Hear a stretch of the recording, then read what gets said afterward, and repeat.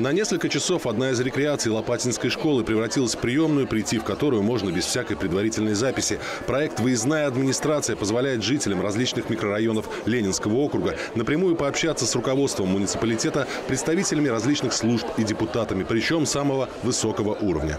Это самый правильный формат. Нам президент э, последние там, 20 лет говорит, идите в народ, общайтесь с людьми, понимайте проблематику, решайте те задачи, которые требуют э, решения муниципалитета, областного там руководства. Но если это не решается на уровне муниципалитетов, то надо, конечно, выносить на федеральный уровень. В этот раз задать свои вопросы чиновникам могли жители микрорайонов Государев дом, Видный город и усадьба Суханова. Поддержка предпринимателей, сфера ЖКХ, строительство, работа общественного транспорта или ремонт дорог. На любую тему представители руководства муниципалитета готовы дать исчерпывающий ответ. Очень хорошую новость сегодня мне сообщили, что с месяца мая планируют запускать эвакуаторы.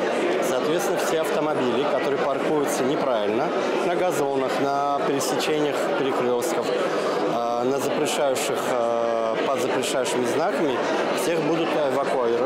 Еще одна ценность такого формата – возможность получить профессиональную консультацию. Житель микрорайона Государев дом Дмитрий Гевортов является председателем совета одной из многоэтажек, где назрела необходимость замены водопроводных труб. Некоторые жители отказываются пускать в свои квартиры ремонтников. Сюда он пришел за советом, как поступить в такой непростой ситуации. Как договориться с жителями, как с управляющей компанией договориться, как проводить мероприятия, там собрания сделать э, э через электронное голосование. И все было конструктивно. Меня выслушали, э, записали все мои данные. Ну и будем принимать э, какие-то меры дальше. Вторая обязательная часть проекта «Выездная администрация» – ответы на вопросы местных жителей, временно исполняющего полномочия главы Ленинского округа Станислава Катарова. Одна из главных проблем тех, кто живет у Расторгуевского шоссе – работа общественного транспорта. Почти каждый день в интернете появляются фото с огромными очередями на остановках. Станислав Катаров озвучил, какая работа ведется в этом направлении. На маршрутах 367, 1201, 1202, еще несколько маршрутов могу перечислить, а, мы поставили уже совместно с правительством Московской области именно на маршрутах Мострансавто. 19 автобусов, 19 машин дополнительных уже стоит. Значит, э, в течение месяца дополнительно нам поставят еще 25. То есть не 40, а 44 машины.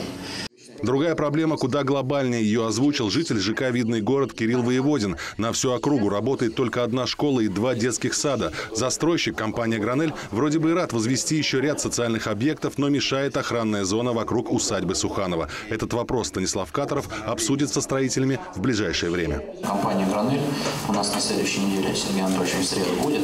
Значит, мы уже с ними договорились. А, и они приедут по всем вопросам. А, мы с ними проговорим.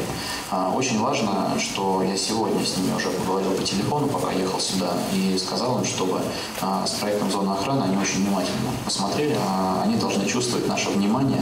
Но у нас проблемным вопросом является строительство школы детских садов на территории Государев дома и Видного города. Данный формат, он позволяет жителям непосредственно задать прямые вопросы, не просто написать письмо и увидеть на него через месяц ответ, поэтому очень удобно пойти по месту жительства и задать интересующий вопрос. Почти три часа длилась выездная администрация, и более 150 человек смогли получить исчерпывающие консультации по разным вопросам. Максим Козлов, Александр Логинов, Ольга Садовская. Видное ТВ.